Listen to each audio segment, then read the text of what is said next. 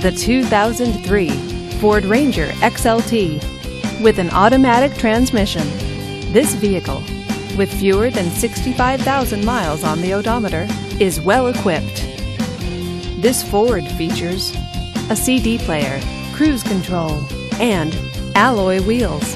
Comfort and convenience features include keyless entry, power windows, and power door locks. Give us a call to schedule your test drive today.